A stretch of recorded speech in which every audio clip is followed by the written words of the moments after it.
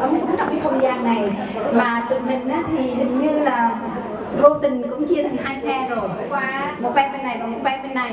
Thì à, mình như nghĩ mình đến đây thì mình tám mình nói chuyện và mình chuyện trò với nhau và mình hát cho nhau nghe.